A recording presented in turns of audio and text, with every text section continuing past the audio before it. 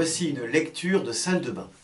Alors je vais vous lire une nouvelle que j'ai écrite et qui est parue dans l'anthologie Naissance des deux crânes aux éditions Les deux crânes. Cette nouvelle s'intitule L'élégance du phosphate de calcium. Ce fut d'abord un tout petit point noir, minuscule comme un bouchon de sébum sur la peau du front. Sauf que ce n'était pas sur un front, mais sur un menton que cette tête d'épingle disgracieuse avait fait son apparition. Quelques heures plus tard, un deuxième point noir était sorti précisément à 0,05 mm à gauche du premier.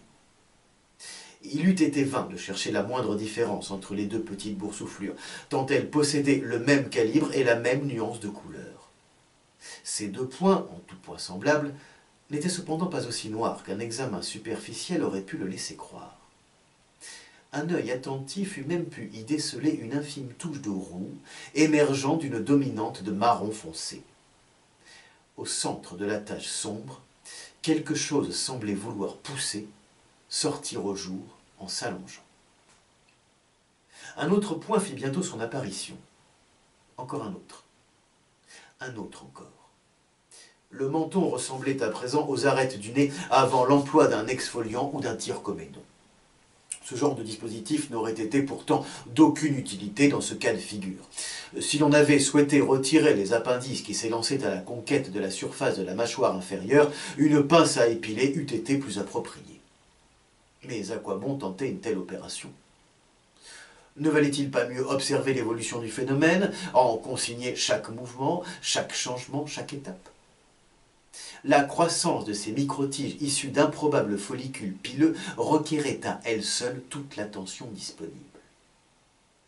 Car il s'agissait bien de poils qui se frayaient un chemin vers la lumière du jour dans le but affiché de se multiplier de façon exponentielle en suivant un plan précisément ourdi pour aboutir à la composition d'une barbe dont tout indiquait qu'elle serait, une fois achevée, d'une remarquable densité.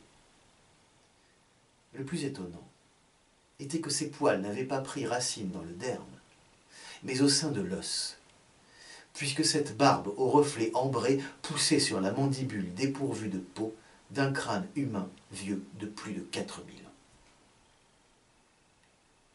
Après la mise à jour dans le permafrost sibérien d'un tombeau inviolé appartenant à une civilisation inconnue qui, par négligence ou manque d'ambition, avait omis de laisser une trace ostentatoire de son passage dans l'histoire, le professeur Howard Edward était resté circonspect pendant une heure trois quarts.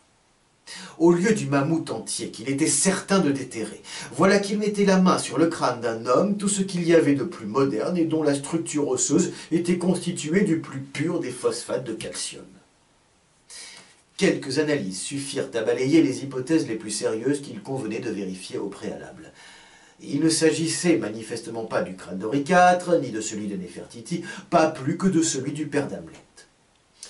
Bien qu'il subsistât encore un doute sur une possible concordance avec le vrai Paul McCartney, décédé, comme chacun sait, dans un accident de voiture dans les années 60 et remplacé depuis par un sosie droitier, il fut établi que ce crâne n'avait vraisemblablement rien d'illustre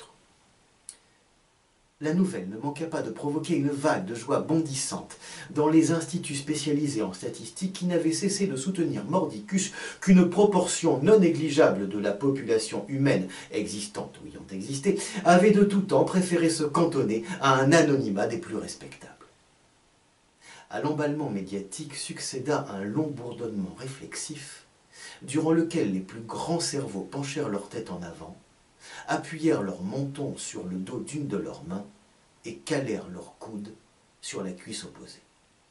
Assis fermement, muscles tendus, ils se mirent à penser. Bien que sa surface n'excédât pas les 50 mètres carrés, l'appartement du professeur Howard Edward avait tout d'un mélancolique, austère et silencieux manoir les ravissants rideaux en vichy rose, le papier peint chamarré, les canapés chatoyants n'y faisaient rien.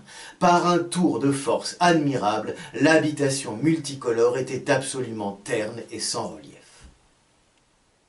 L'occupant des lieux aimait passer des heures à caresser sa barbe fournie pour y débusquer les miettes de pain qui croyaient tromper sa vigilance.